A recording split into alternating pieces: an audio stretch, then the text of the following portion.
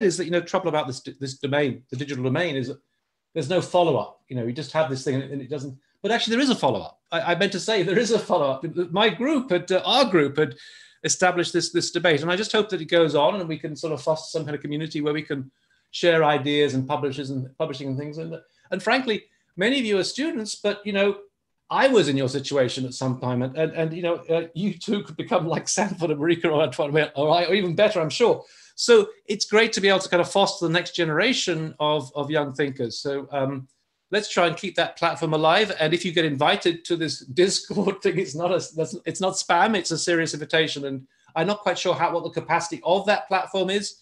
Um, I know that WeChat has a, has a limit of 500, um, and there are a lot of people um, who are actually auditing this. Um, so let's just see. Let's just see.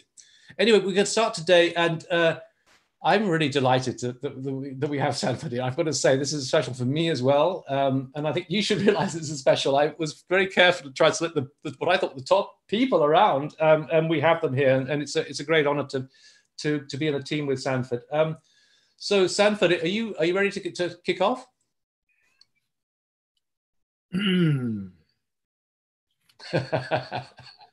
no.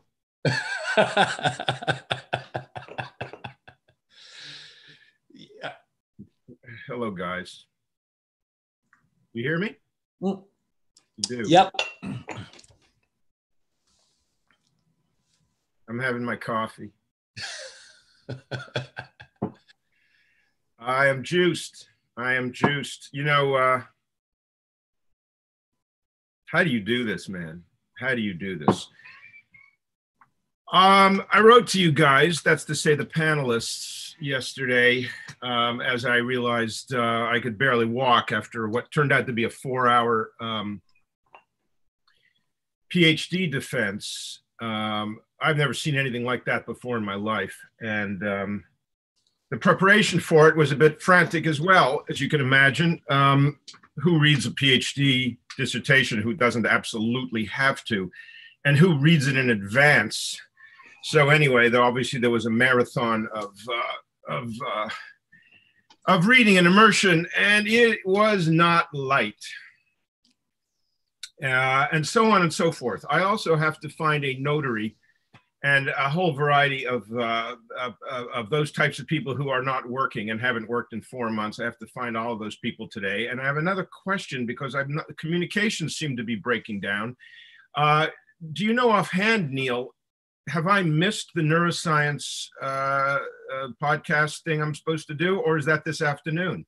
Um, you've you've missed it. I, I was I was Sanford on that thing yesterday. Um, and is uh, anything that uh, anything that maybe that that uh, it trumps for I hate to use that word that, uh, that trumps for four hours of, of, a PhD examination. I had eight hours on different things yesterday. Um, uh, uh, I was co-opted onto two of them at the last minute, and uh, which was fantastic. I got to say, fantastic. Um, but it's it's exhausting, and uh, like you, I'm I'm exist I'm surviving, and maybe like many of the, many of the people listening, uh, surviving on a cocktail of of, of uh, uh espresso and, and uh, coffees and so on. Um, but it's well, it's uh, go.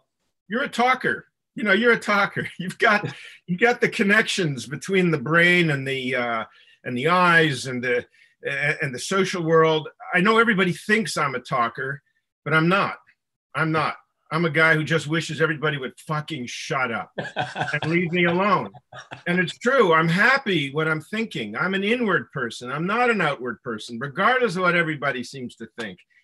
So, uh, you know, there we are. I would also say that, you know, some of these sessions, from what I can tell, because I go, some of them are extraordinary and some of them are just more crap. You know, just people talking, shooting from the hip, nothing prepared uh, coming to the table with absolutely no real reason, to, no real claim on other people's attention, and so on and so forth. At other times, there are spontaneous emergences uh, that are happening, and there's sometimes a level of conversation which, frankly, um, isn't happening anymore, in my opinion, in real rooms.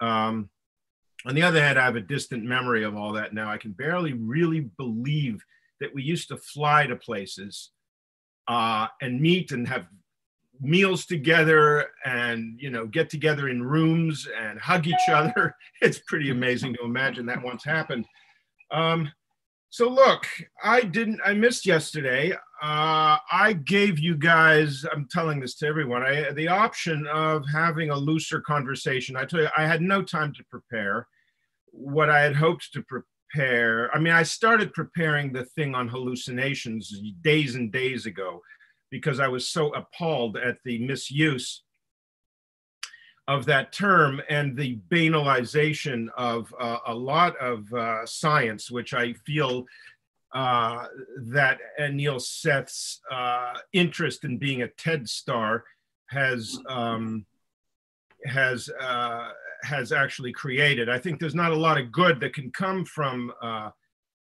that kind of thing. Even though I do believe that neuroscientists do merit um, today today they do merit um, a claim on our attention uh, on the order of, uh, you know, rock stars. I do, I do in a way, though uh, a lot of this stuff goes uh, badly south. Uh, now, I'm, I am sad to have missed that event. I guess I was so overwhelmed. I agreed to do. I agreed to the. Uh, I agreed to the date, right smack in the middle of my that PhD defense, which I known about uh, for several weeks. So that's just an email problem, an email problem of uh, properly assigning attention in such an unnatural way uh, inside of this uh, multi-attentional uh, screen universe. I don't think this is going to work, everybody. I don't think it's going to work. There are virtues and there are vices and it isn't going to work. Uh, the human attentional apparatus, the human sensorium is so important, so delicate, so particular, and actually so diverse and varied, but it isn't, it isn't like the ones we are building in uh, you know engineering labs and studios and factories and it's not exactly like the ones we're conceiving of. So you know what can i say to you guys? So i wanted to ask because like i said i, I proposed and i don't even know where it is right now. I got so many bloody manuscripts on my desk but it's here somewhere. I proposed we do either two things i mean there were a lot of people who wrote i could see in the who wrote to me and also on the chats who seemed to feel that it was they really wanted to hear about the boundaries. What I did notice is that nobody understood even the reference to the boundary. So in fact, everybody's idea of what the boundary was all about is completely different from what it was that I had wished to present. What I'd wished to present is going to only disappoint you. Um, it's uh, it's technical, it's scientific, and it is boring at this point. I mean, I can't believe we're in day five of this extended and very rich uh, conversation, and that anybody could possibly be interested in resisting, if you like, the spontaneous uh, flow of whatever it is that's emerging. Now, I don't know exactly what's emerging. I wasn't here yesterday, but I would. I gave two options. One is, is I could completely shut down the momentum and go back to the notes that I had made and present this thing on whatever it was, it was on boundaries, but it was also on enjoyment as um, as a the expansion, shall we say, of enjoyment, which is uh, uh, not just a play. It's not about pleasure, really. It's about expanding our access, if you like, to uh, uh to the world. Um, as a fundamental, uh, shall we say, direction, or we could even say gradient uh, in the universe, one which we near, really need to, uh, we really need to reconnect to because that is not where the great initiatives currently, uh, shall we say, are going, or, or, or, they're not, it is, it is not one of the areas uh, of priority that we've managed to define for ourselves uh, uh, as we create this new handshake between the technical, if I may use this term, uh, the technosphere, which really refers to every component of our cosmic, shall we say, ecology that has to do with um, engineered things, shall we say. Um, the application of rational principles, even mathematics, if you like, to our world.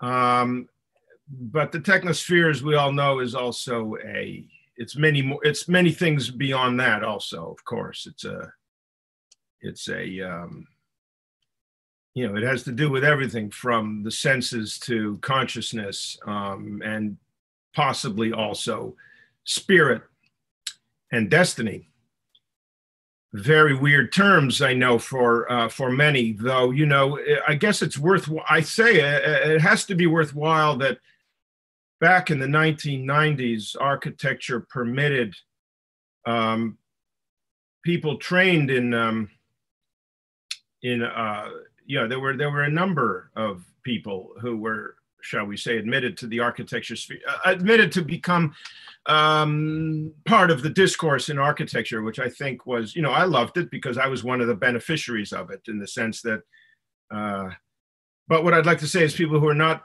who are trained in other areas and the fact that they persist even though they're often these days dismissed as mere boomers um, i would like to say that uh, it's uh, it's important at every stage especially in a in a in a uh, in a, uh, in a discipline as, as as dynamic in a way as open and frankly as hungry in good and bad ways, as hungry as architecture, to constantly reassess um, some of the, um, oh, I don't know what to say, some of the ethical, uh, some of the underlying um, uh, idea, some of the underlying developments that take place and reassess the connections, if you like, to, um, um, I don't know what to say, to traditional uh, to, to, traditional concepts, traditional ideas, to traditional values, et cetera, et cetera. When I mean by that traditional values, I'm not talking about family, although family is a very interesting idea, um, especially in its current uh, mutations. But you know, you could call that community, but and so on and so forth.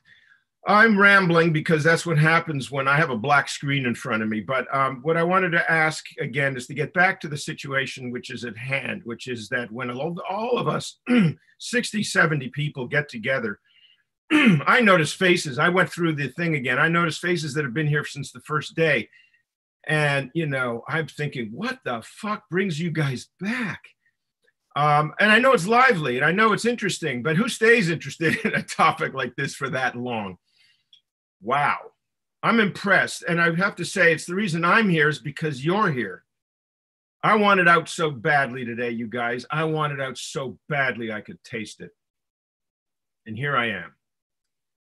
Um, whatever happened yesterday, and whatever do those who are still feeling, uh, let's say, invited or at least uh, present to speak, what happened yesterday and where do you intuit the um, directions of curiosity and interest? And how can we integrate the concerns of the um, the 60 or 70 people who are here?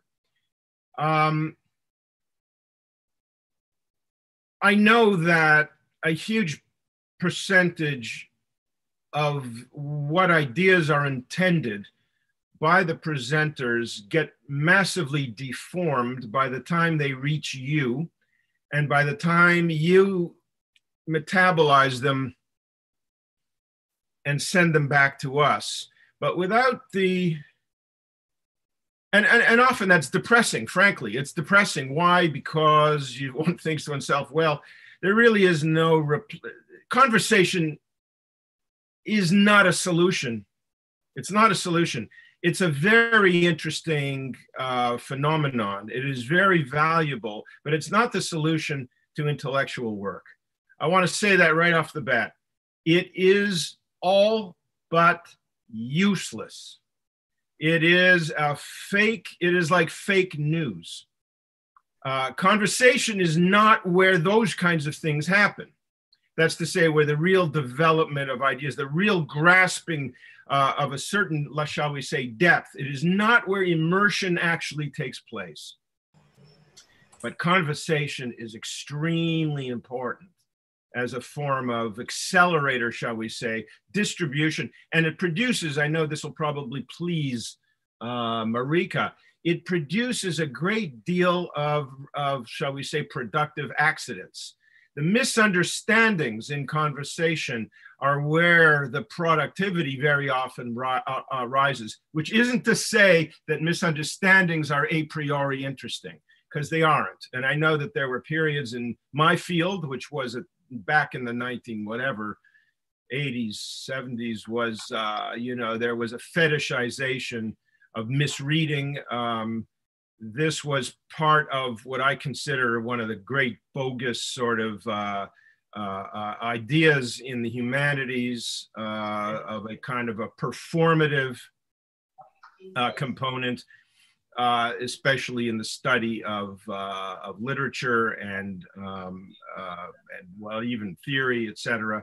all of these things maintained their continuity even if they went underground for a while and rose up again in the great, shall we say, in the great heterogeneous uh, party uh, that emerged after the demise of the, shall we say, the canonical thinkers. Uh, everybody is, uh, you know, it was certainly abetted by social media and by the ability for attention never to have to go backwards, but only to, uh, shall we say, check in with existing uh, feeds uh, in the world and in the environment. These are ecological, we could say these are ecological changes which are constitutive of who we are today, but do not for sure always serve us well. Nonetheless, nonetheless, it's such a rich environment because uh, well on one hand anything goes which is a, a good and a bad thing um, we need to figure out what the new forms of um, well the new forms of discipline and rigor need to be in order to be able to combine these two terms if you like the spontaneity and the miscellaneity of what um, is available to us.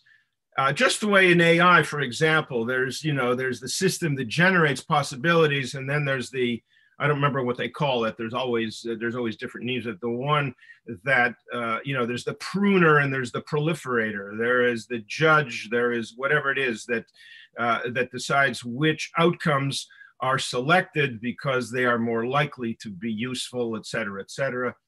Um, you know, uh, we need a new kind of cultural, attentional, and intellectual hygiene, which doesn't simply create, which doesn't simply call for a return to the the the riches of the old modalities. That's to say, when I make these ple- you know, I make these comments, they're meant to be ironic, and I know Neil sees it that way, but it's not sure that you out there in your 30s and or late 20s see it that way when i make when i call him the you know a man of the book etc uh, there is it's important simply to understand that access to what we call the environment let's say to the information in our environment as if we were a, you know a machine uh, constantly trying to refine its capacities to respond to the environment in real time. And I will say this that real time is a huge blunder. It's a huge blunder to give it greater importance uh, as a um, as a philosophical commitment, if you like, to the other forms of time by the way, I know I'm rambling, so don't worry about it. But I do want to get back to the question here. I, I, I do feel like I, you know, somebody said, "Look, Kwinter, if you're going to turn this over to the, to the, uh, to the whole, to this, you know, to everyone uh, to compliment, you should do something that provokes." So I guess this is what it, it what it's going to be. We need to incorporate. We need to incorporate in a very deliberate way.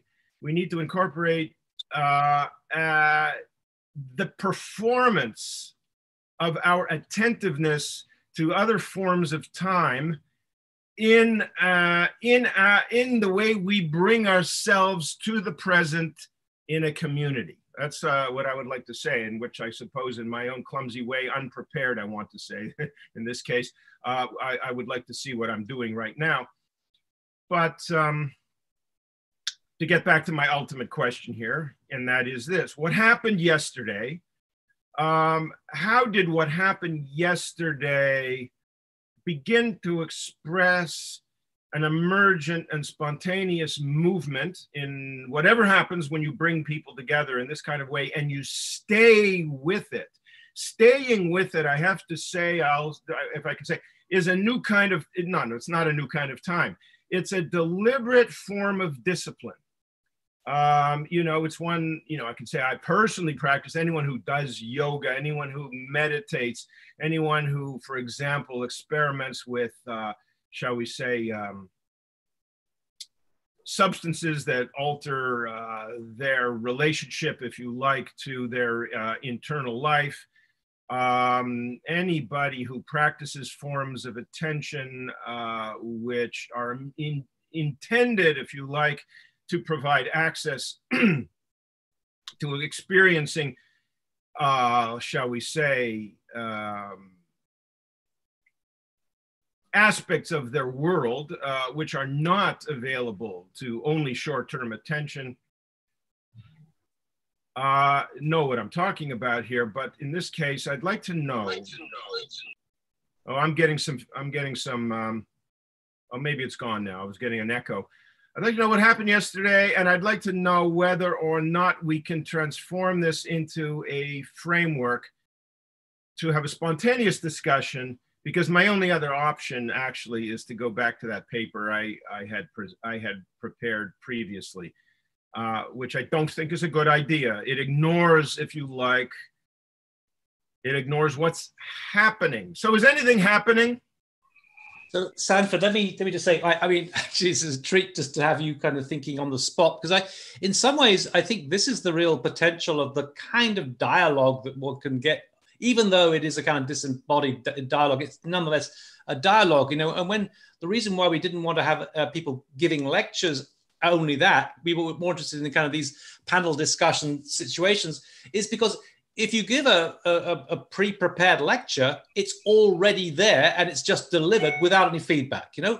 And I think that is one of the kind of crucial things that happens, you know, that the the possibility that there could be a dynamic uh, interaction and, and, an emergent phenomenon. Something could come out of it that it hadn't been prepared, and I think that's when that's when some of these discussions have been successful. I, you know, I, I agree that on the whole, some of them have been a little bit um, uh, less prepared than others, but some have really taken off and gone in a new direction. I had not imagined. I had not imagined that. Um, and there've been a number of these. I would say, for example, that yesterday I was pre-recording it's a kind of interesting question. If you're pre-recording, what do you get live? What's the difference? It's kind of interesting in its own way. But I, I was involved in a discussion with Nader Tehrani, uh, Hashim Sarkis, um, Ela Bauman, and Eva Franch.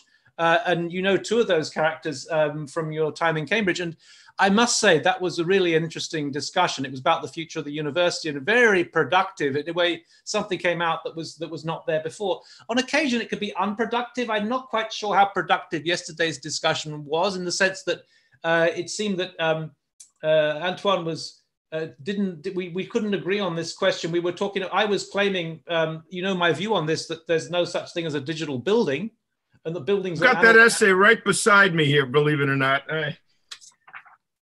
Yeah. That's it. Okay. So, and, and I was, and, and Antoine didn't think that at all. But I, I just think, you know, the reason why I thought it was kind of potentially useful, just going back to your analogy of a GAN, you know, I think the generator, the one who's kind of like churning out stuff, you know, and then there's the critic or the discriminator. And one way of, of looking at that is to say, well, there's a lot of stuff being generated, right? And not all of it's good, but that's the role of the critic. And this is where I think you're so useful, Sanford, is that you can come in and and call BS and all that stuff, you know. And, and that's certainly when I some of that the, the, the book of the AD on the discrete, I, I really felt that. I thought this is this is just nonsense. You know, someone's got to say something about it. Um, so I think it's important to see that, and I think that there can be it can be uh, that's how you maintain standards by this critical discourse. And I think see that's what that's really what your role is because you know I think I, I, I don't want to disparage architects because I think they are very creative people. But I think the whole question about misunderstanding is, is kind of the creative misunderstanding. And who forget who was that said that, but you know, that's what architects do. And we really need this kind of the the, the people like yourself. Actually, I also I could like to compare you to, to Mark Cousins because he, in a way, um, also extemporizes. I mean, he performs. Um, and uh, that's really what we need to kind of keep this this discourse alive and to keep it to keep it going. So, I mean, I, I you know I very much appreciate this, and I think, frankly, the, the debate is better than just the pre-prepared monologue um, from that point of view. Well, then you kind of just assented to us opening up today. Yes. Yes. Okay. Yeah. Okay. Um, and just to say, Sanford, that, that um, we have several platforms operating now. We had the Zoom platform. One of the strange things was, was more people, way more people signed up to uh, to, to audit these these these uh, workshops than actually to be uh, we call active users, and uh, several hundred. How did you invite them? Can you invite? I mean, are you able to do that to invite them to? we we were we were told that we, we there was a limit to what we could have Oh. on Zoom because you get Zoom bombing. And um, uh, anyway, it, it, it there are a lot out there. I'd love to hear their voices, and I don't know how we can manage to do that. Whether they can, um, Why don't you give me your cell phone number? uh, well, Sorry, sorry, man. Didn't mean to put you on the spot. no, no. I think I think that there's it's on. For example, it's on Bilibili. There's some people in China watching on Bilibili. I know there's some very smart individuals I know who, who are listening to that, and it's also on YouTube. And I guess there are feeds in both of those where they could be there could be sort of uh, uh, feedback and things. I just wanted to go just, but, but before we go further, I wanted to go and pick you up on something though, Sanford, in the sense that, um, uh, I mean, what I see in with the world of neuroscience is um, the possibility of a kind of a new, a fresh set of ideas um, that that runs between two kind of polar conditions. One, it's it's kind of in a way. Um, I've got to be careful with my use of my terms. It's not proven, but it, it, it does rely on a certain scientific rigor, shall we say, with all the limitations that science got. You know, it, it's it has that. At the same time, it can be impossibly scientific and and inaccessible in some ways. In a way, you know, I for all the problems, I really appreciate um, someone like Slavoj Žižek. Now, Slavoj, I met him first in 1994. I invited him to a conference in Romania, and he accepted but didn't turn up because he double booked. But anyway, he's someone I've had my eye on. I, think he's a fabulous thinker. But the criticism that he gets from within the philosophy community, he's, he's looking for a, um, uh, a kind of a laugh a minute, a laugh. Every, every sentence has to have a, a, a kind of a, something entertaining about it, which is kind of a little bit like the, the, the TED Talk mentality to some extent. At the same time, I think really in the States in particular, um, what we really need are these public intellectual figures who can um, kind of draw upon uh, some astonishing body of knowledge at the same time open it up in a very pu- public way uh, and make it accessible. Um, so I don't have that problem. And if you look back on time, I think the way that say Roland Barthes was able to, you know, write for uh, when it was writing for, but or Figaro or something, or looking back to the 30s in Germany, people like uh, Kracauer and Benjamin writing in the Feuilleton or the, or the Frankfurter Zeitung, you know, this is what was actually, I think that's important. And, and um, in the States, I don't see that at all. You know, I mean, there are people like Noam Chomsky who could really be active, but somehow it's a very kind of European thing to have these public intellectuals. But I think they're important for all the, the problems about it. I think that it's important. I think Slavoj Žižek is really a, a wonderful provocateur, and, and, and other people like Judith Butler to some extent do it, but not as much as Slavoj. Now, what I'm looking for in some ways is a figure who might, and I guess it's impossible to replicate Slavoj. I mean, he's a he's a one-off in many ways, um, but somebody who might be able to um, uh, elevate the discourse or take the discourse of neuroscience and while not losing the rigor, at the same time make it accessible in, in some way. Because I think that's if we had that, that would be a new injection of something else that really would take us would take us further forward. And, I- and I just think that the idea of kind of engaging the public in a way and finding this this medium between the the, the popular and the kind of the, the, the kind of deep kind of research internal research based work I, I think that's really what we need and i, I just I, I really applaud that I, I really like the idea of of, of, of, of, of let's say intellectuals not being kind of remote in their kind of academic kind of wherever um, but actually engaging um, and without that we find ourselves in a very banal society so so i you know i just want, I want to say that i've i'm enjoying everything you say and i think that's out of that, it doesn't matter. It doesn't have to be pre-prepared. It's the interaction, the emergent interaction um, that makes it interesting. I don't know whether Marrikka wants to sort of add anything to that. Yeah, you know, before Marrikka speaks, I want to ask her if she would mind, and you can say no, Marrikka, uh, just so we can all orient ourselves. Would you mind just telling us in the most discreet way as you wish what you were intending to talk about tomorrow, just so we can put it into our uh, onto the table as we discuss today? Yeah, sure, no problem. Um, the only reason, I mean, I the only reason I can't talk about today is because I I am not done with my slideshow. I need to sit there and like put a bunch more slides in this thing. Um, just and, and um, not what even is, like pretty slides. I'm sorry to say, just like necessary slides. What's, um, the yeah, what's the topic? Uh, well, I, I'm gonna I'm gonna go Simondon. Oh, okay yeah so but i but i i kind of I kind of start Simondon and take the parts of Simondon that make sense to me and that I think are fresh and interesting, um, and then go and then go into liveliness. Ah, okay. Okay. Now, I, I may I say I, something else? Oh, I no, know that. Oh, I was just gonna say because I can't, like, I don't have you guys. You guys both have this uh, this capacity, and it's it's one that I admire but cannot duplicate.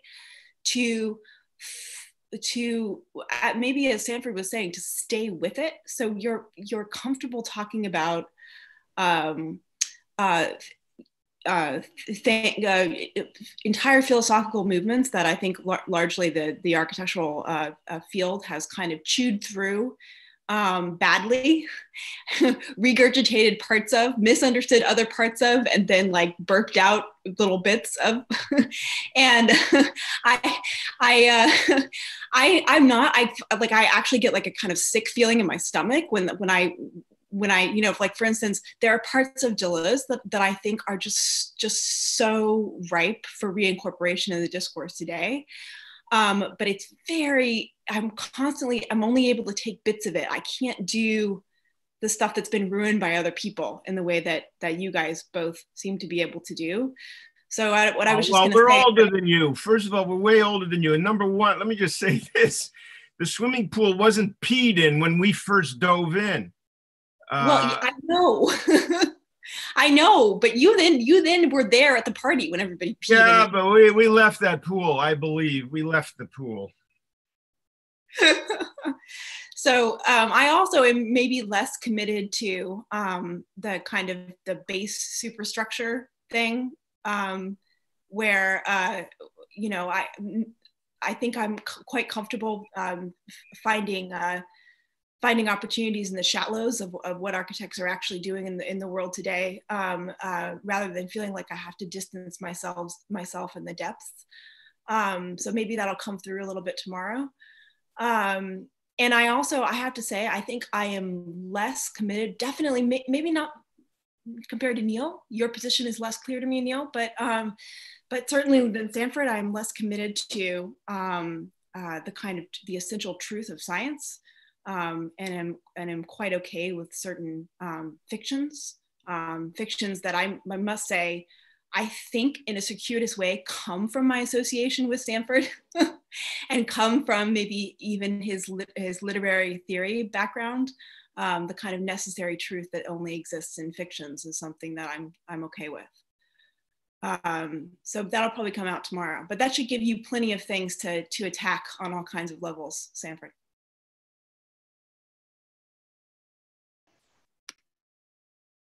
But not if you're muted. Apologies, you're right. Uh, I'd let may, no, I'm not here to attack anything. I'd like to now let Neil orchestrate the uh, opening up. I'm hoping it'll work. The opening up of uh, of whatever has been stored out there in the in the in the in the in the observers. Yeah, well, I think. can I just can I just make a plea though that you do? I don't care if you think it's boring or not. I don't necessarily think you're the best judge of whether you're being boring or not. Is my in my experience. I think maybe you should talk about the boundary because I'm quite curious about that. Well, maybe I'll write an email. I'll write an email. Uh, it's uh, it's just a, it's it's it's a, it's a, it's what they would say now would be tone deaf. because it's you know it's a it would just step outside i suppose of what i imagined was the um, was the flow if there was a flow that was emerging. But i also know there's a there's a damming up of uh, of of content shall we say in our 60 odd um, uh, participants. Um, no i will say i know that there is that is the case. I see interesting intimations of of uh, universes out there when the, in the little chats on the other hand used often when people make inquiries they're completely, you know, they're they're not at all uh, related to the intention of what the of what the speaker uh, uh, had had you know had intended and the introdu- uh, introduced.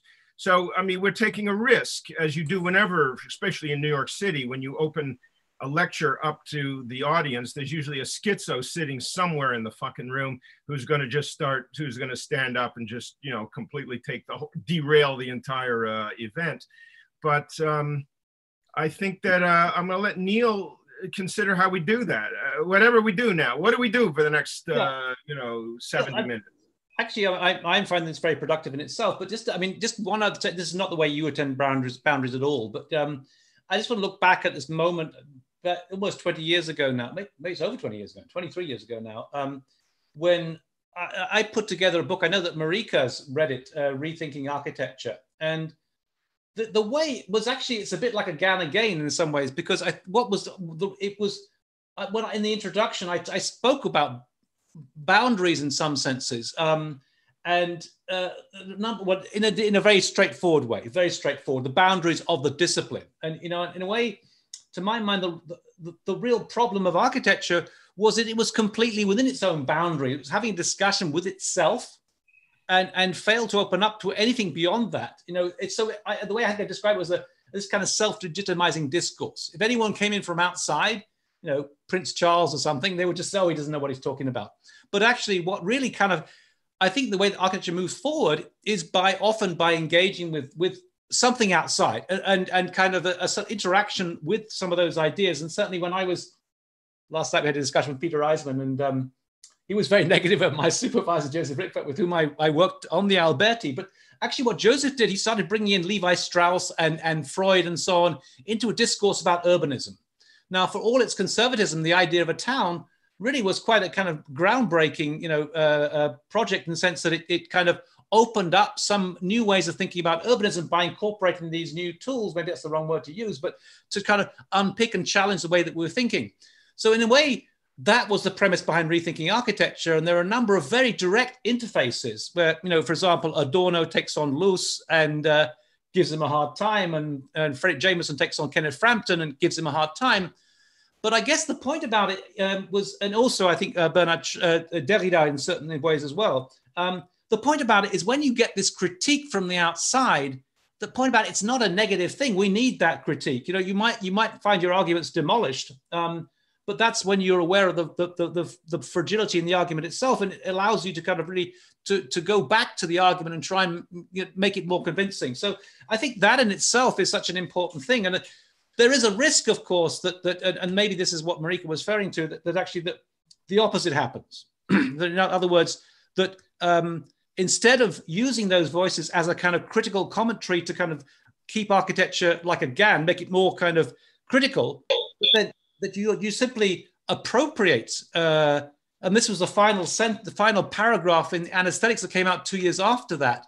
You, you appropriate um, the world of philosophy like a fashion accessory. Um, and at the time, you know, you, there'd be the reviews at the AA where there were these projects and there would be quotes from Derrida and Deleuze that would just kind of come in to justify the argument, which seemed to me entirely superficial very postmodern in some sort of ways. And, and this is my deep worry, actually, the kind of the superficiality of that particular culture. You brought in this content to try and give it certain depth.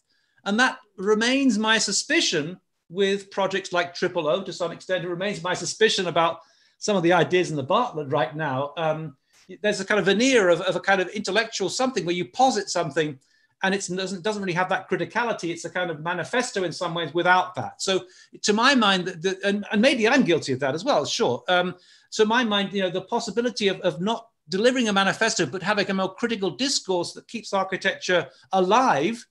And that's why I'm thinking, I'm wondering what, what Marrikka's going to be saying about tomorrow about, about vitality and those kind of questions. That's really what we need right now. And I think this is the role of this particular um, forum in some ways. You know, when I, whenever I've, I used to go to, to Mark Cousins' lectures when I was in London. I was teaching, of course, you know, uh, but on a Friday evening, he would come out and um, um, enormously urbane. I mean, I really appreciate Mark. I mean, I disagree with him on many things, and I think he's kind of stuck in a world of Kant and, and Freud, maybe. But nonetheless, there was this kind of forum, you know, and it kind of reminded me, in some senses, of the way that people talk about what it was like in ancient Greece, where the, the, the agora became a kind of debate.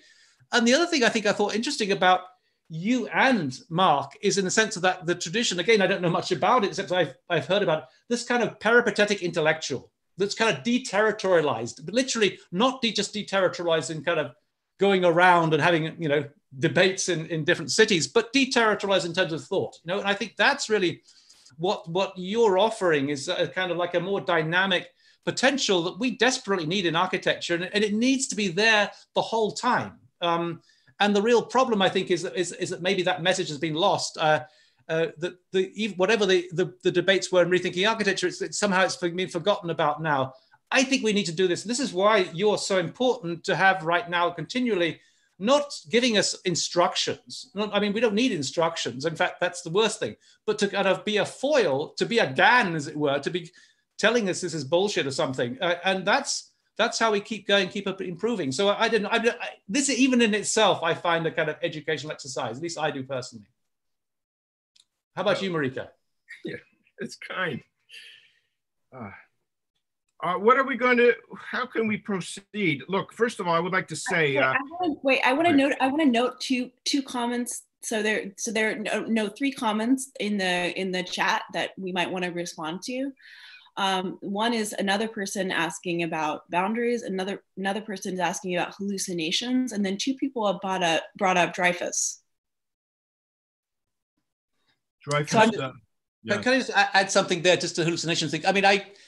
I, I, actually I don't know if you you heard the Anil Seth. I've got a lot of respect for Anil Seth. He's he's a really a, a very sharp individual, and I think the idea of somehow science being kind of uh, this is Marrikka's kind of comment science being kind of too almost positivistic of things actually what he's saying precisely is using science to say we don't know it's kind of our perception of the world is a kind of a, a pre is a is is is is a, a kind of um, we're guessing what's out there. It's there's nothing at all about. It. He's actually highlighting the fact that it's a kind of well, I wouldn't say fantasy, but it's kind of it's somehow mediated through the imagination in some senses. But you know, I'll, I'll stop there. Sorry, Sanford. Well, I, I just first like to say one thing. Uh, every generation will assemble its own bugaboos. Uh, I use that word bugaboo. I know not everybody here is uh, has that has English as their first language and is unlikely to know exactly what that word means, but you can look it up. Uh, I chose bugaboo over straw man um, because it's not a straw man. It's a, just a bugaboo. It's uh, it's uh, it's a character uh, that needs to be actively uh, dismantled, performatively dismantled, in order to orient their own attention and, and their discourse. Now, in terms of how a certain generation uh, uses that term science, I'm not going to intervene in it. I can only say the term science means absolutely nothing to me. Uh, when I use it, I'm usually referring to a body of knowledge, but also an attitude. And my attitude, really, a better term would simply be um, real. What is real? And um, um, in that sense, I do invoke the debates that are happening a little bit in the penumbra, a little bit in the shadows, all around uh, the architecture these days, and that is to say the realism idealism sort of uh, uh, debates. Um, all I really do believe is that you can't really make shit up um, without knowing the proper place of invention, if you like, in relation to um, claims, if you like, on which the inventions, uh, uh, you know, what what you what you present them uh, depending on. That's to say, uh, there is, you know, it's either true or it isn't. You know, when you get so-called theorists like Timothy Morton, uh, whose interest and curiosity about nature is almost nil, and therefore permits himself to say whatever the hell he likes uh, about anything and create a kind of a veil, an atmospheric sort of uh, sensibility that people might find amusing, but who are abs- who are given and uh, who are who are who are who are given no uh, no direction or no path, if you like, to to to to understanding. Um, I find it uh, I find it absolutely depressing. But it's also true that the body of knowledge, you know, to shoot from the hip, uh, the way architecture was able to do for so long. Um, and by the way, any architecture that doesn't have a guiding principle, that doesn't even have a tacit philosophy behind it, is, is not an architecture that, that merits any interest whatsoever. I was fascinated, if I don't, if you know, guys don't mind this little bit of a thing, I was fascinated by by this guy, John Bolton. I don't know how many of our non Americans are following our garbage political culture right now, but John Bolton is one of the great assholes, but not even close to the asshole that runs our country. He recently, everybody might know that he wrote this book, et cetera, that he was, you know, this bizarrely hawkish um, guy who you know, who who who, who aided the uh, the Trump administration when the Trump administration needed this uh, type of, uh, of, of uh, justification for some of the moves they were making. But now that he is in the crosshairs of everybody, Republicans and Democrats alike, with the publication of his book, which is a kind of a tell-all about the horrors of what happens in the White House, how decisions are made, et cetera, et cetera he made a comment that I found absolutely unbelievable, fantastic, incredible. I mean, it's true that he's a far more intelligent uh, and disciplined character than, than most of the others in the White House. But he said the problem with this fucking president is he doesn't have a philosophy. And if you don't have a philosophy, you cannot actually govern. So I would say to go back to that, that is something that is required. I know that Marrikka would agree with it, but uh, it has to be steeped in actuality, in actual things. Um, that's to say, we are all aware of a anti-science bias that emerged with the generation who were unable to find a voice, who came out of the schools of the 1990s particularly the American schools, but then very soon after, uh, the European schools uh, in the early 21st century. Um, and if I may just say this, I know it's fucking, I, you know, I say this again and again in my introductory classes, uh, because the key to understanding where we are today is to understand the 1990s and to understand how the 1990s fit into what preceded it. And as a way of giving some very gross schema, schemas, I tried to direct the students' uh, attention to what I very typically say are four things that happened in architecture, or four things that architecture assimilated and expressed in the 1990s, which have provided the foundations, both you know, contra and, and pro and contra for where we exist, for where we are today. And they will illuminate all of the attitudes that are circulating today. And I name these things to the students, and I hope that they will do a little more research. Number one, of course, is the advent of neoliberalism in our global, and that includes globalization, it includes, you know, post-Fordism, neoliberalism is the is this general idea that markets and free markets have an intelligence that will guide us to the destination in the most, uh, shall we say, beneficial and efficient way. Neoliberalism was a way of understanding that the spontaneous forces around us uh, were enough to produce justice. And this was a complete, it was an atrocious idea, but it was the most profound transformation of our experience and our culture that, in fact, anyone alive today can uh, could ever point to. That was number one. But in architecture, we had a lot of very important developments.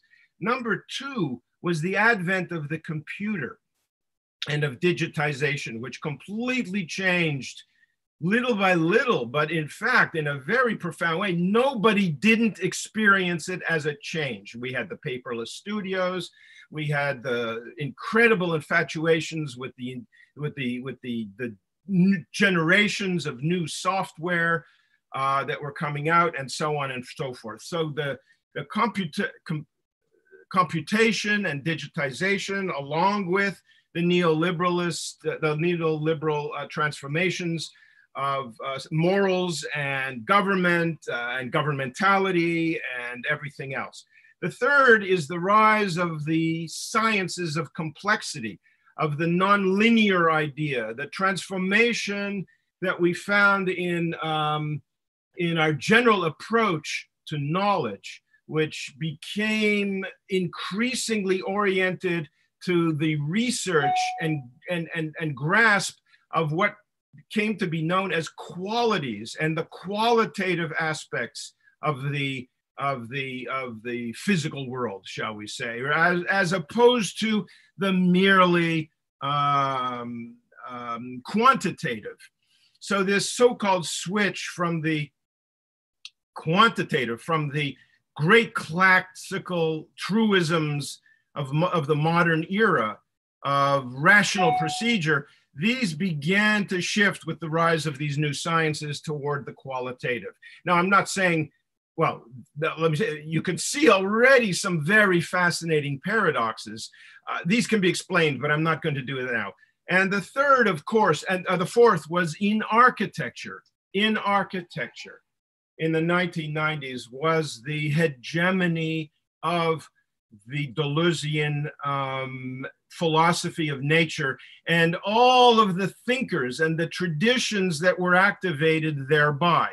That's to say, there was, because in, especially in A Thousand Plateaus, there was a tacit, uh, there was an efficiency, there was a tacit feeling that some of those concepts could explain and like a universal acid that they could dissolve all of these other developments into a model of understanding. And that's to say, it provided concepts that were of use on every level for understanding and for generation to degenerate ideas. So I try to let the students realize that these are four universes that came together in a certain kind of way even if that era, in a way, largely necessarily became eclipsed, let's just say this it was very, very rich, highly accelerative, to use the term that some people still like to use, highly disruptive. It was extraordinarily creative as well because it created a whole new synthesis.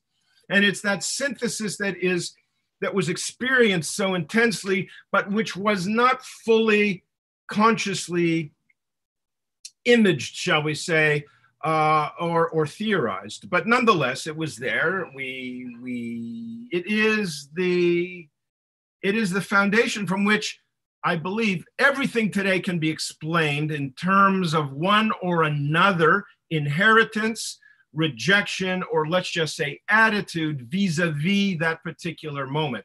Now, I would like to also say, so that there's no, is that we are now in a transition and where a new moment is forming. It is not necessarily going to be quite as coherent and as powerful as that one, but there are new things in play today. And I do believe, unlike many, it's never too late to theorize one's moment in history. I know that I break with a lot of people who say it's too early, it's too early, the image won't appear until much later, until after we're out of it.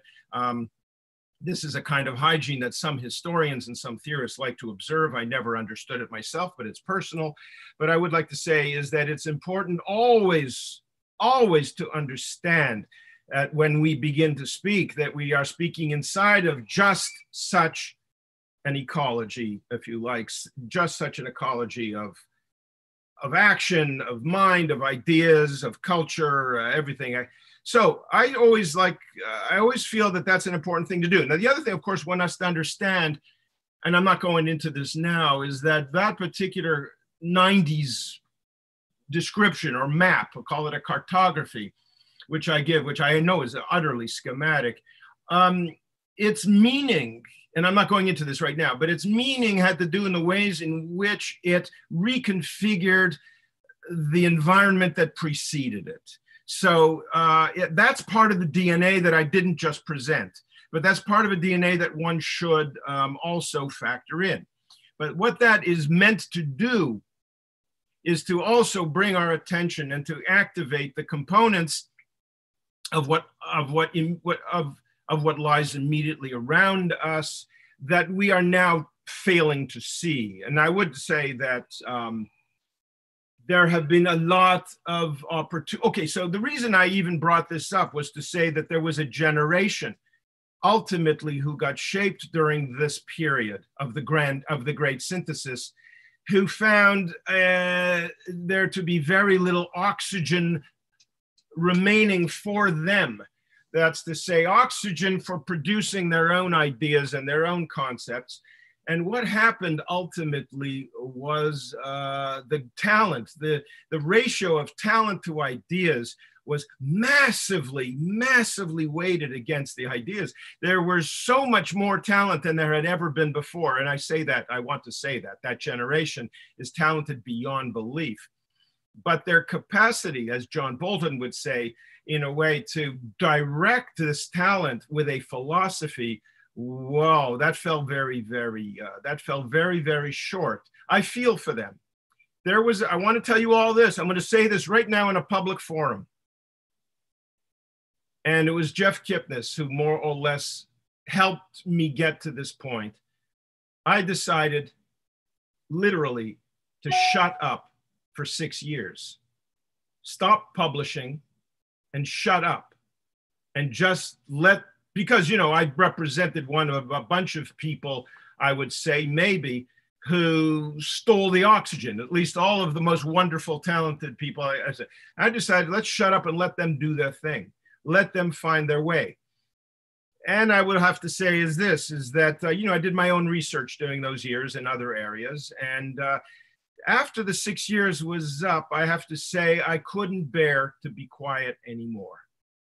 Um, and that is because uh, what I saw was was troubling. So that's I just want to leave it there, and that is to say that I shall be quiet no longer uh, even if I'm like some kind of old fucking boomer on the horizon screaming like a, uh, like a, what do you call it? Like an, what do they call those guys who scream in the streets? Um, um, uh, the, what's that syndrome called? Um, that syndrome where you, you, you, you, you, you yell uh, obscenity. Tourette's. Tourette's, yes. Thank you yeah, like a Tourette's, uh, an old critic, an old theorist from architecture with Tourette's syndrome.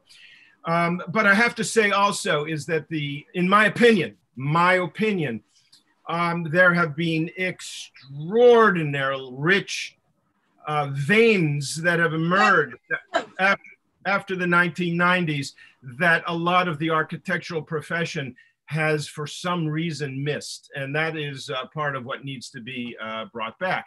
Now, Marrikka also knows that I am uh, very committed to at least, uh, you know, uh, bringing theory back, uh, or at least making a great push to bring theory back for a new generation and uh, it, you know i don't think it's going to be successful but i like the idea that it is going to be a very public failure. And Marrikka has very generously agreed to in one way or another uh, now or maybe soon uh, be, be, be part of it. But i think that is one area that must be um, that must be uh, activated. Besides the one that I've been speaking about, the neurobiological uh, uh, arena, uh, the one, the neither the experiential one. I do, you know, I could go on about where of what ar- what I believe architecture, the opportunities that architecture is missing.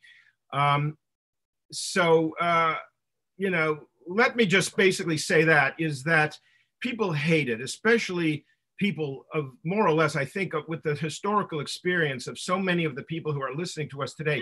They don't like it when I draw or when I use generational um, uh, cliches to explain um, historical conditions.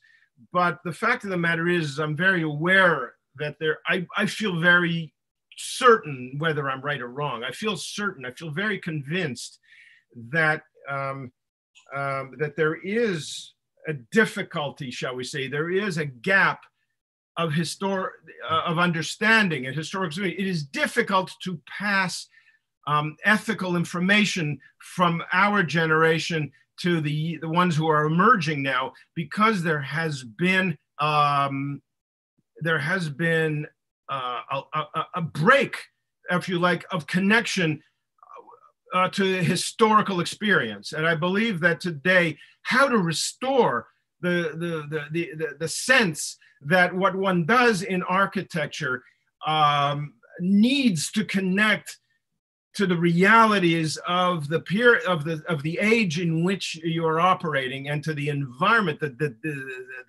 the, the very um, uh, what's the word? The the the obduracy and the urgency of our of the organizing structure of the world we are in um, that what we do in architecture uh, needs to be seen as connected to it and not just to social media feeds.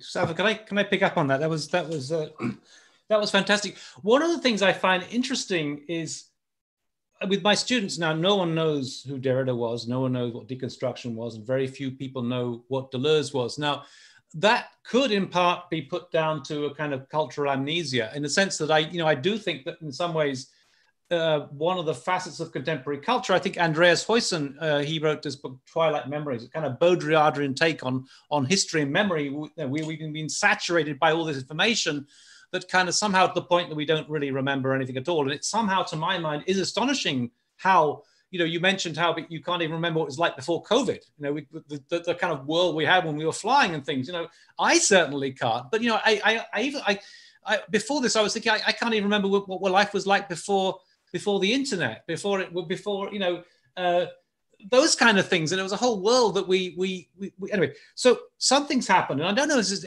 maybe it's amnesia that's part of that, and maybe the world has accelerated in a point we don't really have that sort of deep memory um, that was in the past. But I want to just kind of throw out two, because I think Deleuze was very, very interesting for a lot of sort of reasons within architectural culture. Of course, he was completely misunderstood, as I would say the whole time. I mean, as was Derrida, which is unfortunate. But anyway, never mind. A kind of creative misunderstanding was maybe okay. But there were two things I, I think is kind of interesting. I just want to I want to interrupt just to register my my my agreement, uh, if. I may. Okay. Yeah. So so so Deleuze. Okay. On the one hand, I mean, I I, I was really transfixed by by DeLanda's message. Um, uh, this was in '99 when I was teaching in Columbia, and I was just sitting in on his seminars. And in a way, you could criticize what he was saying because, in a sense, it wasn't Del- it wasn't Deleuze so much as DeLanda's Deleuze, right? I mean, he kind of edited out Guattari and he just had Deleuze, and it was a very kind of new, new materialist um, take on things. But at the same time, uh, it was kind of interesting, and the way that Manuel described to me what he was doing, because in a way, if you're truly Deleuzean, they're kind of it's not a binary opposition, but there's kind of these uh, uh, what's the word he uses anyway? Uh, um, reciprocal presupposition. That these two different worlds, and in some ways, what I think that uh, that DeLanda was doing was seen that after postmodernism, after this kind of obsession with the representational, um, we we needed to have some a kind of corrective to kind of counterbalance that, and hence this uh, this kind of emphasis on on process, on on a kind of a much more kind of well anyway, a kind of the, the view we all know so well, the kind of new materialism. That's one thing, and, and but then what happened, I think, now after that was it kind of everyone describes to me American politics as being like a pendulum. It almost the pendulum swung back after that, you know, very uh, important corrective. We go back to a kind of representational discourse of triple O and, and I don't know what else. Um, that's one thing. So there was that happened to Deleuze in some way, but then there was something else even more weird. And I just want to get your take on this one. Uh, is that is to say, Deleuze somehow disappeared into the rabbit hole of accelerationism, and I don't understand that at all. You know, Um, I, I, I recall the days when when you know the AA was so progressive and everyone was talking in this kind of way, and somehow there's a kind of a, a right wing turn that's happened within theoretical circles where people are talking very dogmatically in a way that was never there in the, in the past. But there's also been a kind of particular individuals um, have switched allegiance in a way that I find absolutely astonishing. Now, as much as I like Patrick Schumacher, I mean, I, I he's an amazing guy. He's very generous with his time, and uh, I don't. He just does so much. You know, it's incredible how much he gets through. I, you know, I, I admire, but I completely disagree in the kind of the way that he's swung way to the right from. I mean, he was a kind of almost Trotskyist at some point. Now he's a kind of you know neo-libertarian something. You know, I've been invited to this conference to about li- li- li- neoliberalism. I, I, I despise that intensely. The only reason why I agreed to go to the conference to go, was to criticize it. But that's happened. Then there's another character. When I was back in the UK, um, the University of Nottingham, in uh, it, uh, um, Warwick, there were a bunch of really smart individuals, Sadie Plant and the guy called Nick Land. Now, what the hell's happened to Nick Land? I mean, he's now in Shanghai. And there is this kind of weird accelerationism going on. And I don't know what that is. Um, and I just I wanted to, to get your take on that because you mentioned the uh, kind of libertarianism, and I, I find it as disturbing as you do. But how the hell did that happen? That we it's not just a it's not an amnesia. It's a kind of collective kind of like swing to the right. Um, what do you well, think? Uh, you know, let me ask you. I, would rather answer. I'd rather respond to what you just said, not to you personally, but to our audience meaning I'd like to respond in a way that would make sense to our audience because, you know, the hairs are standing up on the back of my neck too when you reminded me of these things that are, that are taking place. So I would like to say, well, in terms of Schumacher, it's a very personal thing. How he and I, by the way, he's gone. Be, he's got. He's well beyond neo-libertarianism. He uh, really feels very free to plunge into into fascist discourse um, and into crypto and even neo-fascist uh, economics and other things. He just uh, he just went that way. Now I will say something in a second more a little bit about that. So in terms of accelerationism, um, yeah, I find that I find it uh, it's just part of this opportunistic.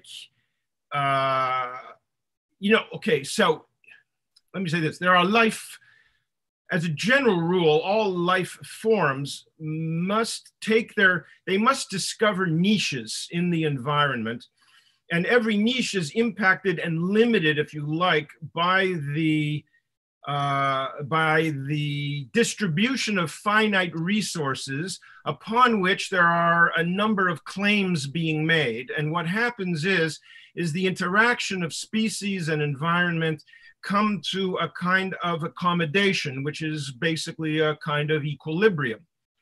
In today's intellectual environment, um, because of all of these artificial uh, contexts, shall we say, that is no longer happening. And yes, you get these runaway, you get these runaway things happening like the accelerationists. Everybody's looking for a, but I would just let's say this is the amount of encouragement, shall we say, that is provided by online culture that can seemingly almost as if it as if it was a resource, uh, a reservoir of resources uh, that was infinite, such that any idea that can catch fire will. And then the feedback comes, it's a kind of encouragement, and then so on and so forth. I find accelerationism, I find a lot of these ideas that came out of speculative realism to be, I have to say, because speculative realism, in my opinion, was already based on a profoundly naive denial of the historical and the historical development of thought and became and was so fraught with a number of shall we say serendipitous revivals of uh, conservative uh, concepts without having to test or measure itself against if you like um, the the more the, the more you know the, the developments of modern thought gave place and free permission, if you like, to uh, these things. But I want to say one more thing that's important here is the 1990s, as I described it, and Deleuze specifically. There was a component here which was troubling, uh, especially with the, and I find this also in Foucault. They were, uh, they were creating a system, shall we say, of emancipatory ethics and thought in relation to uh, uh, an understanding of the structure of power that had been inherited, if you like, that still had its roots in the dominant uh, forms of top down power. Uh, that still were rooted in the organization of, you know, uh, of knowledge uh, and superstition that belonged, if you like, to a pre modern world. In other words, the rational organization, uh, the rational structures were seen to be ultimately oppressive to the degree that they suppressed, if you like, more. Uh, more immanent, shall we say, and more uh, I don't know. I, I'm, I'm going to use this word, but I don't want to be using it in this particular context. But you say the more spontaneous um, uh, uh, uh, uh, aspects, life, shall we say, of uh, of the body, of matter, and so on and so forth. Now, what happened was the flow idea, or shall we say, the smoothness and this this uh, type of this self-organization idea got became the dominant mode of oppression ultimately meaning it became it became the way in which society organized itself. You know neoliberalism is once it discovered the the smooth paradigm it occupied it just like a virus is opportunistic in its ability to select those portions of a population which are most congenial to it what we believe, what we did, and, and everybody went straight off and continued theorizing the the, the rig, retrograde and oppressive reorganization of our social, cultural, political, and economic universes. And they failed because, like you pointed out, when you say this about Derrida, it's even true. I hate Derrida, I want you to know.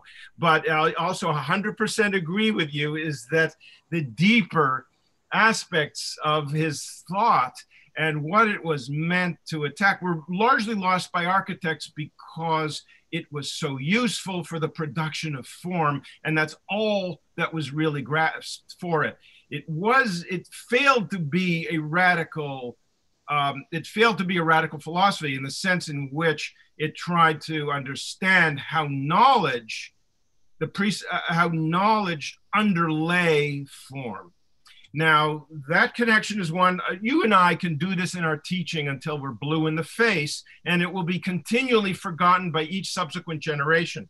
And I'm sure you find that it's even very difficult to communicate this in the classroom today because we're no longer aided and abetted by the culture and the reading culture around us, which we used to be able to rely on for its resonance.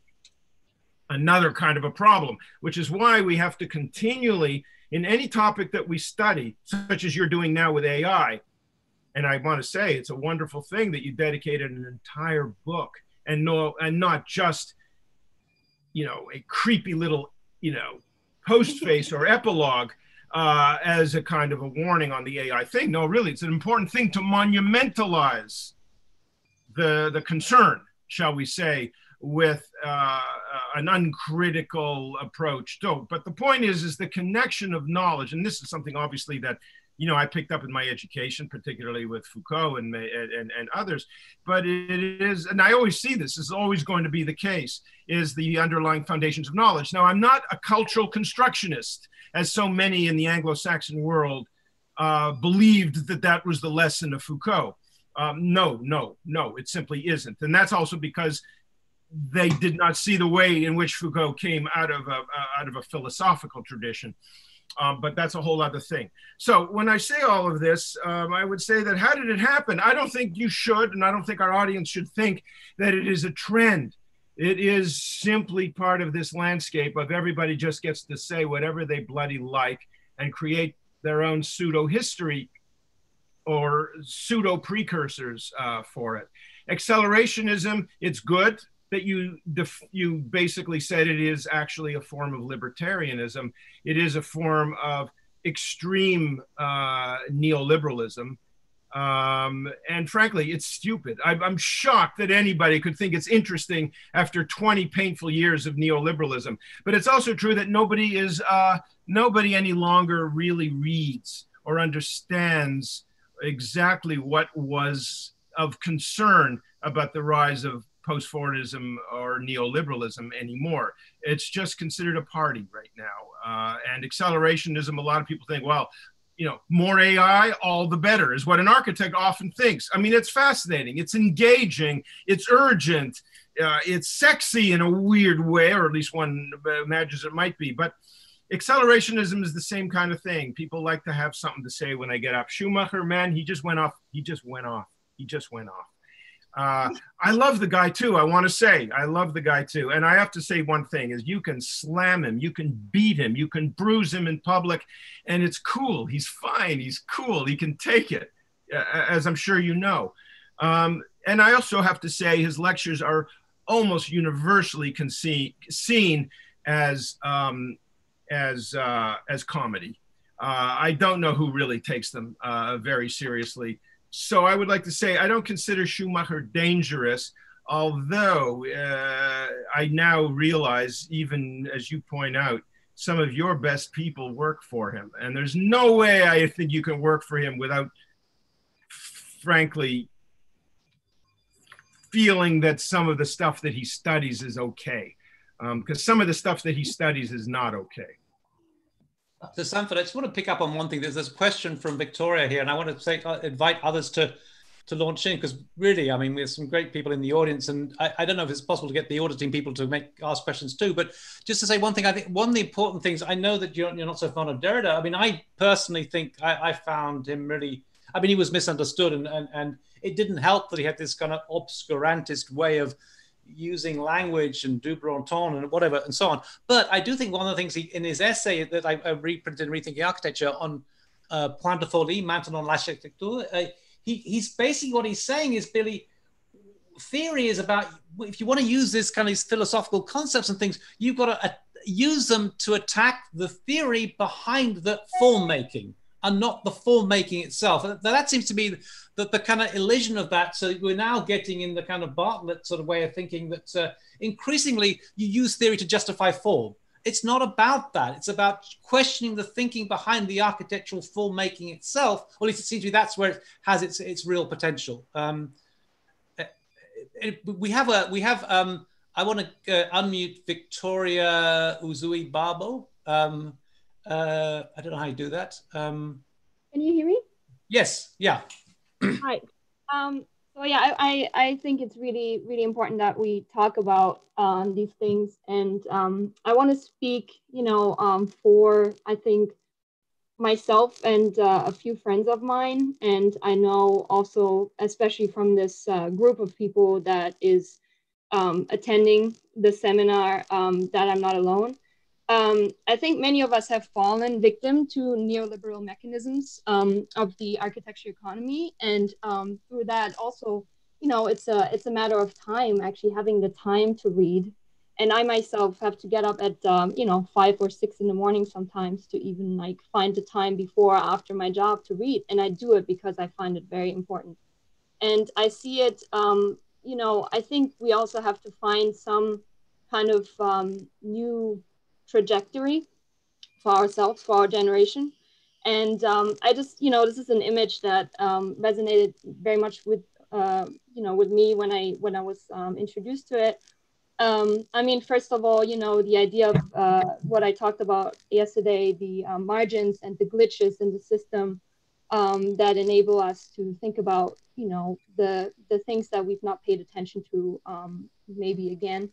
And um, the image that I want to invoke is first of all um, the idea of a crystal um, that is growing and that often needs a very small seed or pattern as a precursor to actually grow into something very large. And then the other thing is uh, where these seeds can be found sometimes is actually when a system is stretched and it starts opening cracks. Um, Darwin has this uh, interesting idea about the ecosystem or a system um, as a floor slab that is made out of planks. And when it's stretching and it's growing, it actually creates new um, niches of affordance for new life and new thought and I want to encourage, um, you know, myself and our generation to see possibility and enter the discussions from there, because I think to actually re- replicate the slabs in their full, you know, intensity takes a lot of effort and time that we might not even have because we are in a system that is very different. So um, what I want to say is basically that this coronavirus crisis that we're in right now has actually um, pulled back the veil of many of uh, the guises that um, this, this, these mechanisms have been hidden behind. And I think we should see it as an opportunity for our generation to enter into discussions as we do right now and not be afraid to enter into these discussions because I think what has shown this this crisis has shown every single one of us that the data that is collected about every individual and that we hear about in the news is very different than the individual qualitative experience that we have during this crisis. Everyone has a very different experience. And I think what I want to make, uh, the point that I want to make with that is that we are embedded in a context. And I think we see how important it is because the experience that we have during this crisis is a physical one, a mental one, and a social one. And I think it is very important to pay attention to that. And so I think I'm just calling for more attention um, to what is around us. And um, I mean, there's a whole, you know, another point that I, I want to get into, but I think I'll leave it at that. Um, so kind of an encouragement to everyone. Sanford, you're muted. Sanford, you're muted. Trying to talk. How do you know I'm trying to talk? Like, how do you notice that? Well, you're muted now, my friend. Oh, sorry, yeah, you're oh, I really, but I, but do I, I, Whatever, guys. First of all, let me say that I very, very uh, greatly appreciate uh, what uh, that that comment uh, that we just heard, uh, but for very, very selfish reasons, and that is because I keep forgetting to say I agree with it hundred percent. There is something utterly magical about what has taken place in the last three or four months. Now, I have to tell you, from the middle of New York City there were some dark, dark, dark, dark moments. And I have to also say, if anyone who's in the United States, thankfully most of you are not, what is coming is even darker still. But um, in New York City, it was palpable. The death was everywhere. You could almost smell it when you went outside. When I had to go outside and walk my dog, um, many of the people I used to run into as I walked my dog died and uh, it's just unbelievable the the the the darkness that we had but at the same time what a gift what a gift it has been in fact i will be sad when it's over uh, in many ways it was like a sabbath for the mind in a way and even though the mind was was was was prevailed upon the, the mind was occupied the mind was made to suffer there was still an opening there was an opening there was free time and there was a chance to look back and to look around. There was a chance to assess and reassess. Now, I have to say, strictly from the point of view of and to invoke the title of a book that many people find, uh, you know, what should we do with our brains? It reminds us that we can do what we like with them, but we need to we need to alter, if we like, we need to alter our spatial temporal environment in order to be able to make different uses of the brain possible. But yes, what an opportunity to begin to think, to feel, to ruminate, to read, et cetera, et cetera. I think that it's also true that since we are being forced to experience this, we may demand it in the future. We may demand, uh, uh, uh, what is the word, relief from the, the neoliberal onslaught, which grabs every single moment of our attention in a kind of a, a frenzy of productive demand. Um, so I would say that yes, um, our intellectual culture, our ethical culture may very well find in this crisis uh, the seeds of a very, very, uh, a very interesting and beautiful uh, uh new way of living, and what we consider to be an absolute minimum requirement um, uh, for a, a good life, if you like.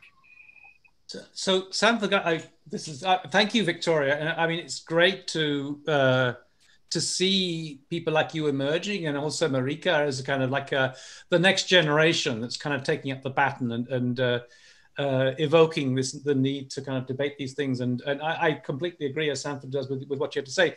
but I just wanted to uh, first of all two things. Well, one thing, can if anybody else has some questions, please uh, raise your hand, as it were. Um, but secondly, I want to go back to you, Sanford. What was it? You made this reference. It's kind of it's, we've got darker times ahead.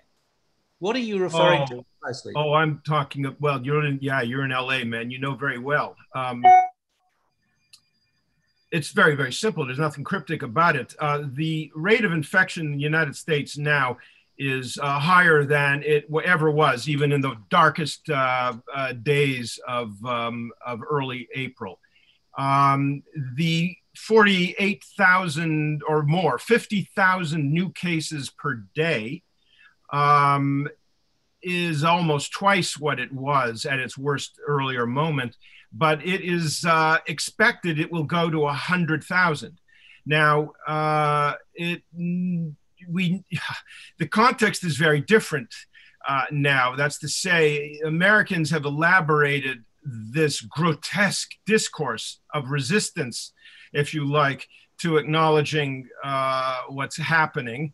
Uh, they now they no longer see it as a biological process, but actually only as a uh, a political and ethical one which basically means, you know, the hospitals. Look, I, I, I spent years in in Houston.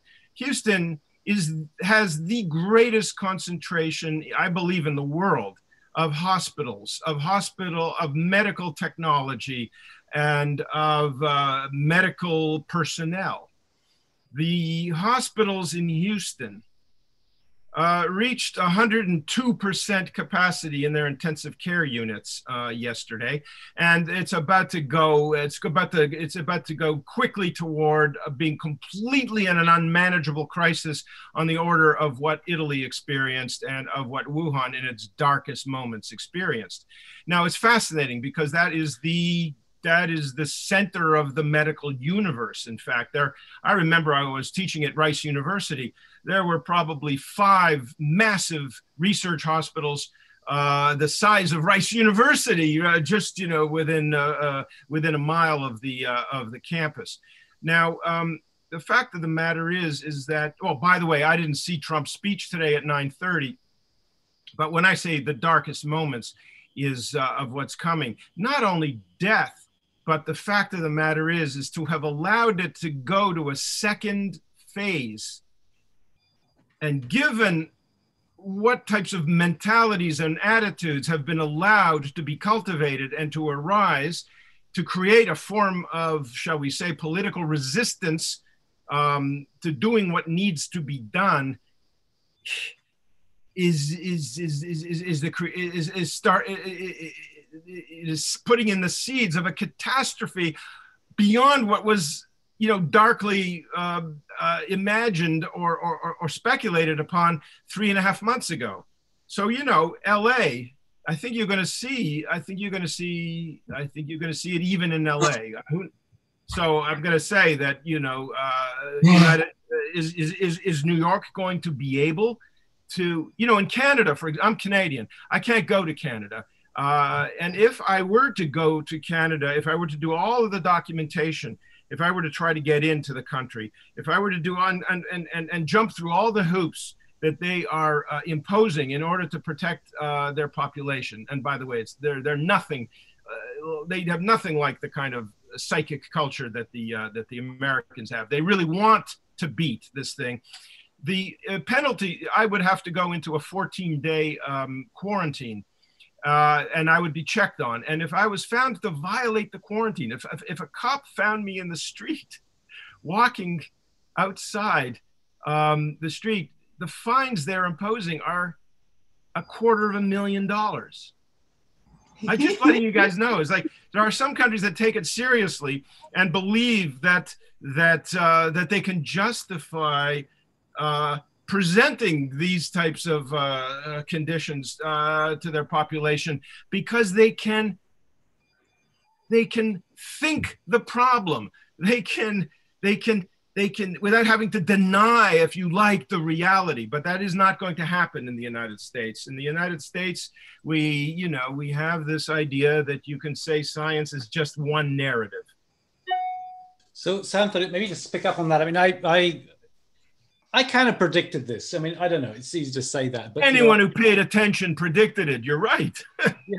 I mean, the thing is, it was you know, and I think that, well, there is a virtue in now discovering, and Zizek as well, and others have been talking about this about kind of a certain discipline and even the use of surveillance to make sure for the for the greater good. Um, I mean, I never had quite that problem with surveillance issues anyway in the first place, but I, now we're now reconfiguring that. But um, the thing that I wanted to go back and, and get your your take on this is is you know what I see happening is people you know uh, you get these guys with guns you know going into uh, um, uh, public assembly buildings and things, and, and you get them basically saying, "I'm not going to compromise my freedom by wearing a mask." You know, and I, you know, to my mind, this is something really astonishing. What happened? It's in a way. The word freedom, which I associate with kind of the French Revolution, which is actually a freedom for the sake of society as a whole, somehow got mutated and translated into neolibertarianism, which is something of freedom where forget society. It's about me personally.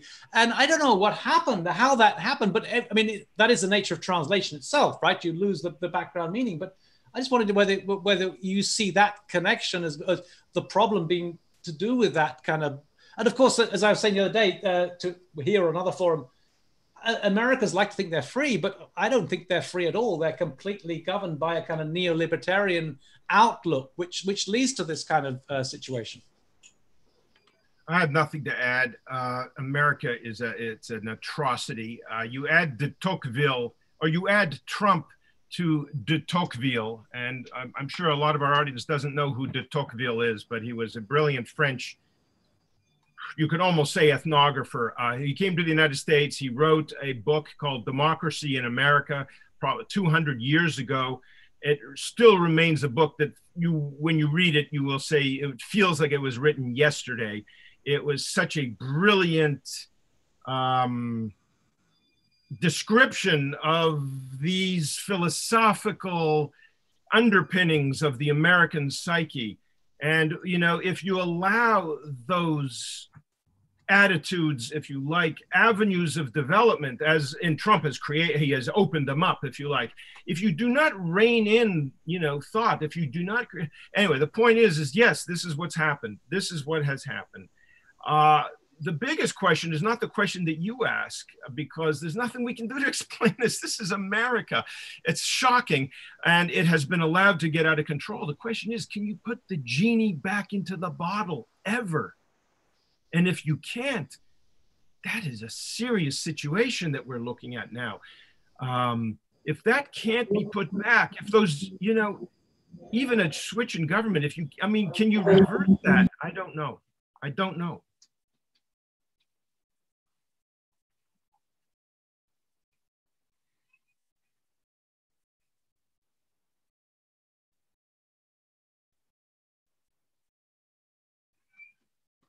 Um, we've got 20 minutes left. Um, uh, Victoria, you I know you've got a second question, Victoria. I'd like to see uh, anyone else who's got a got a question. Maybe Victoria, while we're while we're waiting for another question, you can say say yours, um, your second one. Do you, do you want to do that? Uh, sure. Sorry. Um, I just you know I, I have a lot like that I've been thinking about. Um, and I think you know maybe it's um, it has to do with um, a lack of being able to trust. Um, in systems. I mean, the United States is a very extreme example, but maybe it even has to do and that, you know, I know it's a it's a pretty, you know, I'm, I'm putting myself out there with saying that, but maybe we even um, have an inability to trust ourselves because we have externalized trust um, very often and have put trust in uh, external mechanisms um, that can solve problems for us. And I mean, AI is probably even, you know, could be counted among those. And I think it is maybe time to kind of, you know, go back and listen to oneself and maybe establish a certain trust in the capacity of the human, um, which includes oneself and the body. And um, I, I mean, for me, it was really interesting. I've um, been uh, reading and, and looking into Whitehead and um, Massumi, Brian Massumi, who talks about Whitehead and, you know, perception. And he brings up the term of prehension, um, where everything is uh, basically in motion and a world is forming around us. And um, human beings are always embedded in context. And so it's in motion. So basically, um, we are as a, as as we are in motion, the world around us is in motion, and it's these two systems meeting. And um, we've always tried to kind of abstract that and might maybe find an external way to explain it, but we don't really pay complete attention to what is happening inside of us. And um, so Brian Massumi has this interesting um, comparison where he uh, compares the typical brain. And I think I talked about this yesterday briefly, where the typical brain jumps quickly to definitions of elements in the environment, which is also called neural entrainment. And we kind of tend to forget about all the margins and um, the atypical brains that go through these decision process in a very different um, speed. And so I think it is maybe a way to kind of you know, go very far back and look at the individual um, in this time right now and see that there's very different ways of perceiving and very different ways of uh, apprehending and um, that we can actually, you know, instill trust in these mechanisms and maybe even like pay more attention to them and see the different times that we, you know, live in. So um, I think that is that is for me kind of the way forward and um, that is kind of opening a new door for me personally um, to kind of start you know engaging in that neuroplasticity and um, also start learning and unlearning um, in a world of constant flow victoria wow. do, do, do, you, do, you, are you teaching you, no. should be i think it's really important to have voices like yours um, carrying on the baton in some way i mean also Marrikka you know it's uh, I, I, guess Marrikka's a little slightly different generation, but but you know I think this is so important to kind of keep this critical critical discourse alive, especially in in architectural environments. Um, Neil, you need to hire Victoria. Uh, we tried, we tried, and uh, we will try again. But uh, yeah, you ought to do that since everything's online now. It, you know, you don't have to fly people around. Um, uh, uh, she's extraordinarily, I mean, you know, committed actually to ideas and uh, you know her presence in any classroom I know would be inspiring. Um, I would like to respond to a couple things there, simply because uh, I think we have to uh, anger or not anger, I mean excite uh, Marrikka a little bit to respond here because she's a she's a link uh, for us uh, to um, you know to to where the energy is today. Um, you know, 20 whatever. I don't know how long ago I wrote a book uh, called uh, Far from Equilibrium, uh, whose um, whose core or uh, keystone concept was uh, was absolutely missed by every reader except for one. Uh, that happened to be Harry Cobb, who I'm very sad to say died a few months ago, just before the COVID crisis um, at the age of I'm not sure what, maybe 94. He was a good pal of mine, but he that's no reason why. He the concept was called radical anamnesis, and um, that was uh, the concept that underlay all of the essays in that book.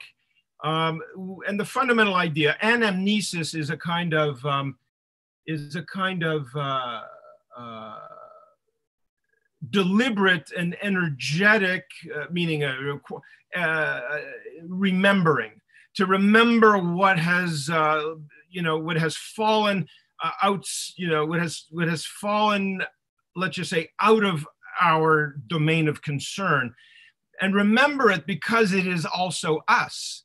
To remember, to, let's say, ourselves. And radical anamnesis, basically, the way I described it there was uh, just to say that the past, in the past, it doesn't contain everything that is exists inside of us in terms of our potential, but it reminds us or it will redirect us to note that this stuff exists inside of us. And it's to say to look at the past, at all of the paths that were opened but not followed or not taken by history. Um, and the bottom, I, last idea here is, is that instead of us all the tendency now is to see what arises and to immediately try to integrate it into our, the word we, I like to use is the, um, uh, what do you call that thing you put on your back where you put your tools uh, if you're a hunter gatherer into your, um, oh, I just forgot the word, into your quiver, into your quiver. Uh, that is not the task we need to do. In fact, it is really to impose some of our own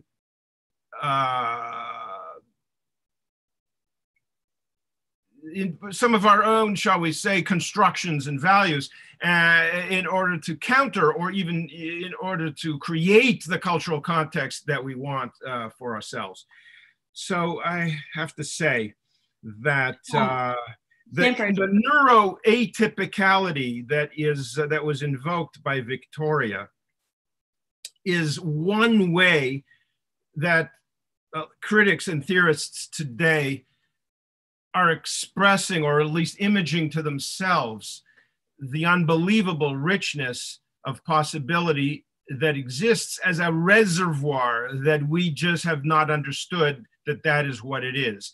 The neuroatypicality, you're more likely to hear the term neural diversity uh, than neuroatypicality, so you'll recognize it. But it basically tells us that in this world in which every human being is a uh, is an entirely unique organism on a certain level and to every organism there is an absolutely specific world that idea of course should be in my opinion the guiding political mantra uh, that an architect would follow today uh, we have a, a, question coming up from Antonio Banacci. Did, did Marrikka, did you want to say something? Well, I just wanted to I just wanted to say so so Neil to your to so Neil and I share um, um, an appreciation of Derrida that Sanford does not does not. Um, and I wanted to talk for a minute about that the the extraordinary act of radical anamnesis um, that Derrida performed um, toward the end of his life when he wrote a collection. I, I lent it to Sanford.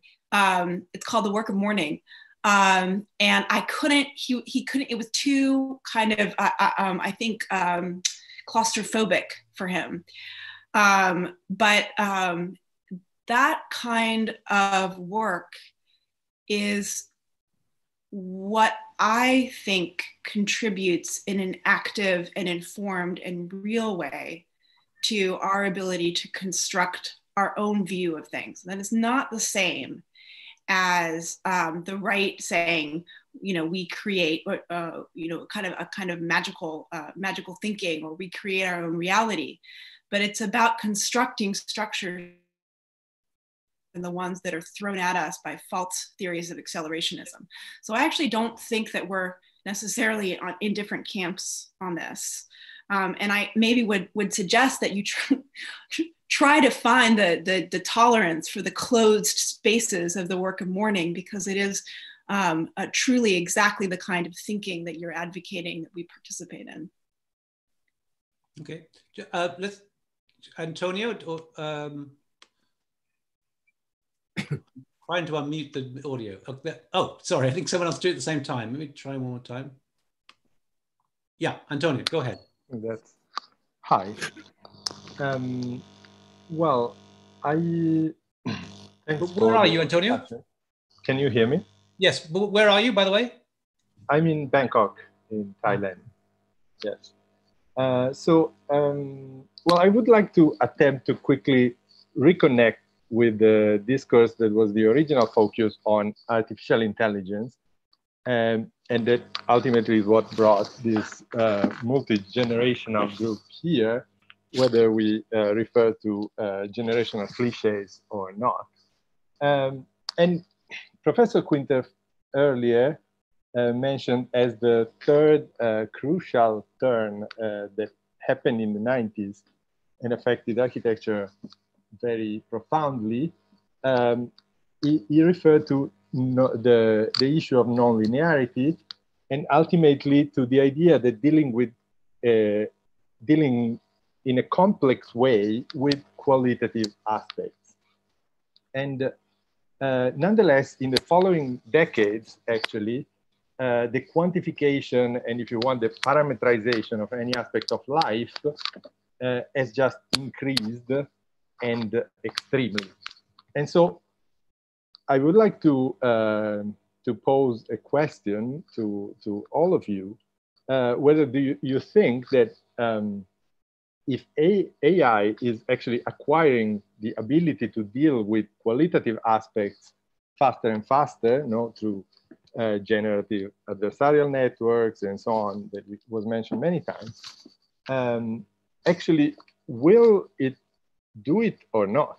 Or, or would it rather just, uh, you know, extremize the logics of uh, quantitative optimization and so uh, ultimately the logics of exploitation and neoliberalism? That, Thanks, Antonio. Uh, I hope that you're teaching too. Um, just to say, I think you know that uh, oh, you know the two sides of the coin. But one thing I, I came across, which was um, some research in MIT Media Lab, of course, has a cloud running over it right now for other reasons. But the research was quite interesting because it was able to use harness the possibility of GANs to judge the safety of a na- neighborhood and. I, I, you know, I think I, all I would say is I wouldn't preclude that possibility. You know, I think that um, and in a way, almost that's what we need to be pushing for, um, rather than this kind of blind adherence to uh, celebrating what can come out of the technology to really see how it could be used in a kind of critical uh, way to, to address qualities. Um, maybe Sanford like someone like to say something? Or Marrikka? Uh, you unmute yourself, Sanford. This.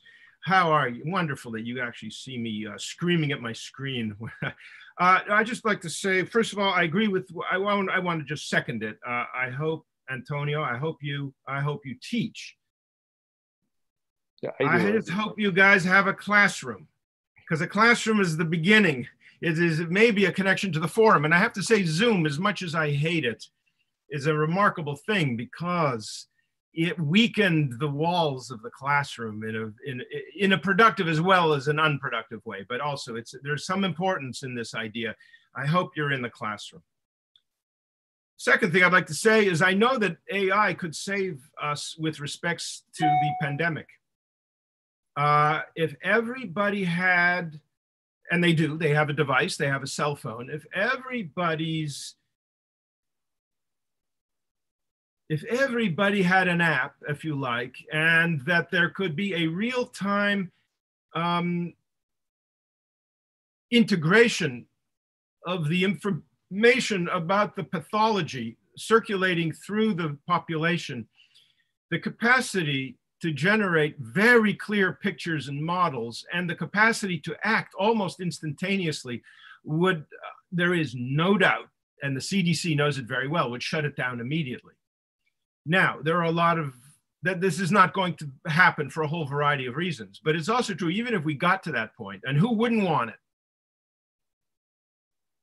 The system, you can't go back. And suddenly, and suddenly you realize you've also paid for that triumph. You've paid for it by in a very, very dear way with what, with shall we say, the abdication of one's claim on political rights um, uh, and the right to be invisible or et cetera and so on and so forth even when you know this whole con- this whole thing began with the uh, with the description that neil gave of turning up at the airport and discovering that the system already had his information in the system and it recognized him without him having to input any other detail about who he was.